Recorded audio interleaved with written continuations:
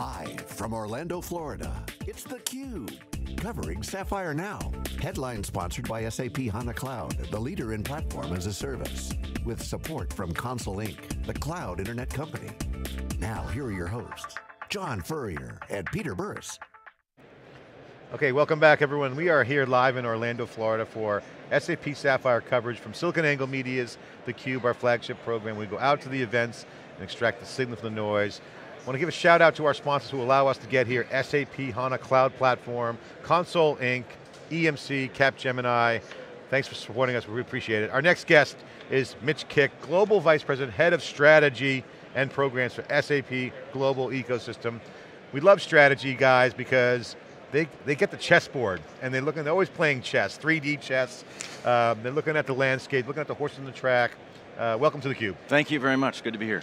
Um, it's an evolving ecosystem. It's fluid, but yet uh, active. The Apple announcement, certainly notable um, news for SAP. Yep. The, certainly the cloud, mobile, social, data in trend, the confluence of those things causing massive innovation surge. So you're got a lot going on. Absolutely. Give you know, us the high level, what is the current ecosystem? Well, you know, when you think about, think about the way SAP looks at its ecosystem, I mean, certainly we have those uh, traditional uh, types of partners who resell our, our product, but when, when we talk about our global ecosystem, we're really talking about those partners who are either strategic service partners, technology partners, some emerging partners and names that you mentioned, like Apple, Uber, Facebook, some of these, uh, they are not your, your grandfather's SAP partners. And so we're really moving to partner in new ways, uh, to co-innovate new types of solutions that take advantage of the you know, trends in the digital like landscape. What are you guys doing with Facebook? Well, Facebook as an example is, uh, is something where we said, look, there's all this social data that's out there. How do we put that together with our, our Hybris uh, CEC types of solutions, our uh, in, in commerce solutions, to basically allow marketers to do one-to-one -one marketing that leverages the power of Facebook data and your enterprise data, it brings it together in a very manageable tool. That must have been a hard deal because they're very controlled about their data and also each person has their profile settings, so that's awesome. Yeah, well, and it's something that allows it allows for marketers to just do much more, much more targeting, much more insightful targeting. And you know, we, we announced that last year, uh, and over the course of the last year, had a number of really interesting, uh, you know, uh, pilot examples. Can developers get involved in that? Is this more of SAP directly kind of thing? Well, that is an example of where we're creating a solution that sort of packages it turnkey. Um, but you know, when you think about something like an Apple, the beauty of that one is not only are we developing these beautiful industry applications that are going to be in, in, targeted industries. I don't know if you saw them, they're out on the floor here, yeah, but you know, impressive. with regard to retail or with regard well, to- Well, startups have come out know. of the woodwork over, just in a short time, have, have hundreds of employees with this ecosystem.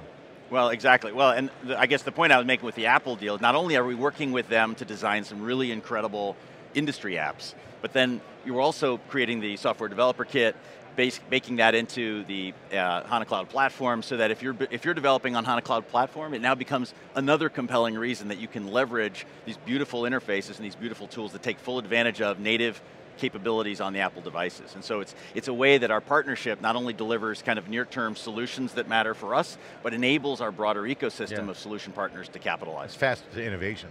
I mean, you're going to get, you're going to get more R&D and then real production apps faster that way. Absolutely, from the, from the Absolutely. developer. So that's core. David uh, uh, Vellante and I always talk about um, courses for horses, which is, you know, certain things fit certain ways. But there seems to be now a common, with the cloud platform, an opportunity for developers to come in. So I want you to explain how HANA fits in, because there's HANA Cloud, and then this HANA Cloud Platform. Mm -hmm. What's the difference between the two? Can you just quickly share what that means to the ecosystem? Well, HANA as a, as a, as a database, I mean the thing about HANA, the HANA Cloud Platform is that, that that creates a platform for our solution partners to extend, integrate, as well as build and develop on it. And you'd say, well, as a platform as a service, are you guys using HCP to go out there and win the, the, the PaaS wars? Um, as a generic, in the generic sense of a PaaS, that's really not the intention. The intention is we've got this huge installed base, we've got these service partners who are working very closely with their customers to innovate on top of, so that once our customers move to that digital core of S4HANA, they can use HCP as that extension and integration platform to tie together a number of different things. And a lot of the things that are, you know, when you think about digital transformation, there's so much activity and, and discussion around the customer experience and architecting a beautiful customer experience with mobile devices, with you know, targeted types of uh, commerce on the front end But what people are, are coming to realize, I think, is the importance of having that end-to-end because you aren't going to be able to deliver the beautiful experience. And so the, the example with, um, you know, I was on a panel yesterday with Uber and Tumi as an example. Tumi, you know, luxury retailer that wants to create, um, you know, not only a compelling customer experience that embodies the best of its luxury brand, but also is facing, uh, you know, the, the threat of Amazon Prime one day, you know, delivery, same day delivery uh, in metropolitan areas. And the beauty is that by partnering with Uber um, and, uh, and SAP, we're able to kind of incorporate that seamlessly as an option for same day delivery. They can deliver in 30 minutes for $7 it's, it's, it's game changing. You know, so that's an example of where we provide here at this event you know, an early window into the type of co-innovation that we're doing. And, and it's sort of like in the past where you'd think, well, you know, SAP has a certain solution footprint, and we're going to partner with other software companies who can plug in to that footprint. Now you have in, in the new world where there are industry ecosystems like Uber, platforms that you can capitalize on, it, it's the business network. You can plug in business networks to an overall solution to customers that's really compelling and that delivers uh, opportunities in ways that we couldn't have imagined a few so years I, ago. I want to build on that. So uh, historically, strategy has been three to five years tied to asset values, uh, mainly fixed asset values, and how are we going to generate a return on those fixed asset values over an extended period of time. You're describing a world where we're focused, where especially as those assets become more programmable, they can be applied to a broader array of activities and, and, and opportunities, where the horizon starts to shrink pretty dramatically, the strategic horizon, and it becomes more, what capabilities do we have, and uh, how do we improve those capabilities and drive them forward? And that's a crucial way of thinking about partnerships, is partnerships as capabilities. I think that's where you were going. Is, are you thinking now about partnerships in the ecosystem as crucial capabilities, not only for SAP, but also for SAP customers? They've always been in many ways. When you think about uh, customers need a whole solution, and many, you know, in the past, even when the on-prem software world, you didn't get the whole solution by just buying the software package. It required a lot of additional service. Now, with the cloud models that are emerging, it's much more easy to consume the software functionality, but there still is a tremendous amount of ongoing innovation, differentiation, customization, and that's why when you look at a lot of where we're going with our solution, you, can hear Mike Ettling talking about our SuccessFactors product and the fact that, well, how do, how do partners help us? Do our service partners help us in the same way of just implementing software? No. Uh, their role is really in integrating and extending it and creating microservices on top of it that then say, well, this is a, a, really unique capability that's essential for, for delivering value to this particular customer or client. And so you're, you're now finding that because of our ecosystem that, it, that is getting plugged into these new ways of contributing, we can now have a broad array of contribution. People understand how they can plug in and capitalize on that and deliver real innovation and benefit to the end customer. So you look a lot at industry trends. As you walk the floor here, what trends are starting to emerge for you and what, it, what, what it's getting you excited as a strategist? Well, from, from my standpoint, when you think about digital transformation, honestly, we were joking a lot about this whole term because when it first came out, of course, you know, it's sort of like, well, you know, I'm not familiar with anyone who's actually doing analog transformation. You know, you don't talk about every all, all IT is digital. We've been doing digital things for years. Uh, and transformation. I mean, I was involved in the early '90s on the big re-engineering wave, right, where you're re-engineering yeah. using technology and whatnot. So what's really different here? And I think what we see is that through all these trends, there's sort of a confluence of them, and people, you know, map out, you know, a dozen, two dozen different trends that are going to change the world. They speak breathlessly about all these things, but in the end, what difference does it really make? And from my standpoint, it's really three. One is you're starting to see all all these things change the customer experience fundamentally, right? To the real-time mobile devices, one-to-one, -one, that's being enabled now.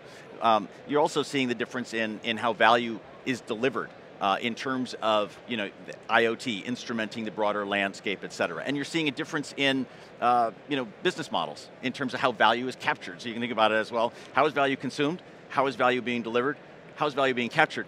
The real so what is that all these different uh, individual technology trends are combining to, to make those differences happen that enable completely different ways of, of making money, of growing, of opportunity. It changes, so, the, it changes the analog, where the analog piece used to be the transactional, digital then hands off to analog or vice versa. That whole thing end to end, you just talked about, is an end to end digital. But the analog role of the person is augmented differently. So what you said is interesting because I think people look at it differently and say, hey, if it's digital end to end, where's analog fit in? Well, there's still people walking around here at the show, we're talking, we're face to face, so I think it's interesting when you look at the optimization of digital. And I'll take you know, sales leads, for instance, or marketing automation. You know, get the form, pass the leads to the salespeople, they go knock on the door, call, email. That's analog transaction. Mm -hmm. That's now digital. Right. But there's still the analog component. So What's your thoughts on that? How do you look at that? Because you're still got to do business. The people still are going to be involved. Well, and that, that, that was really uh, hit home when we were talking about this Uber example because everybody talks about the, uh, Tumi, you know, they're talking about, well, it's a beautiful experience for somebody to be able to then say, hey, I got a one hour delivery. Or, or, or you know, we've all can identify with going to a, a retail outlet and they say, oh, I'm sorry, we don't have any more of those in the store, but we've got one, you know, that's 40 minutes away if you want to go drive there. Well, what if now all of a sudden you can get the product into this store in the next 30 minutes? Or deliver it to wherever you happen to be in 30 minutes. Yeah. That changes, that changes the game. Yeah, and, and so, user experience. Yeah, but I mean, but the thing is, so that's nifty, that's great, it's really compelling, but when you start thinking about what it would take to work this, okay, well now you're going to have to have an implication for those retail store people. And, and so this notion of how are we making this a beautiful experience for the retail clerk who now, instead of just serving the store, is going to get pinged because, hey, wait a minute, we've got some deliveries that you're going to have to pick and pack to get ready for some Uber driver to come in. Um, that's a change to them, you need to make that. So when you talk about implication, that, that highlights all of the change management, all of the how does it make a difference in individuals, people's work? And there's always going to be that last mile of engagement that's needed. And that's really, when you start talking about trends, how do we see things changing?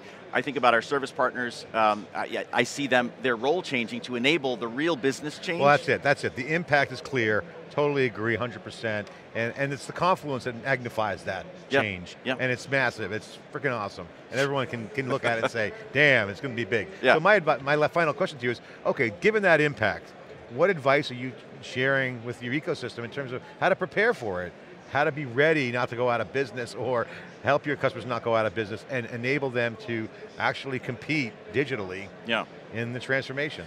Well, when we look at it, it's, it's the part of the challenge is that the ecosystem's so diverse that you know often your, your guidelines are speaking to specific people. But the, the one thing I would say is um, everybody's going out and talking a digital message we need to be on the same song sheet. So when you're a solution partner or a service partner and you've got uh, you know, your own offerings, your own reference architectures, et cetera, let's work together to make sure that we're all singing from the same sheet. Second thing is, it's really imperative that we trans, uh, you know, basically uh, migrate our installed base to the digital core. So S4 HANA, getting enabled around that, making that change happen, that enables all other sorts of benefits. And the third thing would be the, uh, the importance of then leveraging HANA Cloud Platform because the integrations that were hard-coded uh, from yesterday are, are, no longer valid. So if you leverage HANA Cloud Platform from an integration standpoint, you're really allowing for this much more agile and fluid innovation cycle to happen in a much faster clip. And that's really what our customers are going to need.